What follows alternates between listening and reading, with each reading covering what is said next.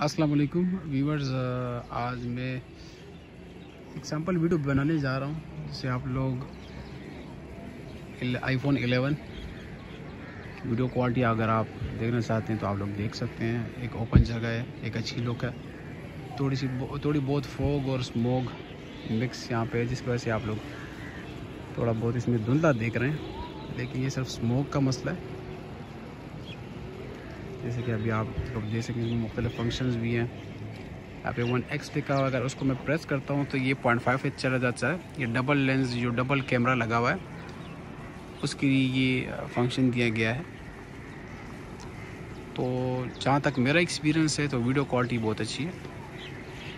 और लेकिन ये भी है कि 12 प्रो आईफोन 12 जो है या 13 है, उसके हिसाब से थोड़ा बहुत इसमें जो हाई डिफिनीशन का है, वो उसका थोड़ा बहुत फ़र्क है।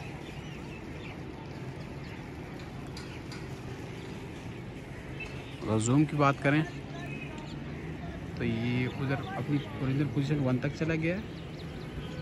मैं जूम करता, जा रहा हूँ और ये भी two point six three X three X तक थ्री एक्स तक जा सकता है। ये जूम की क्वालिटी भी अगर आप देखना चाहते हैं तो ये आप देख सकते हैं कंस्ट्रक्शन साइड है हमारी।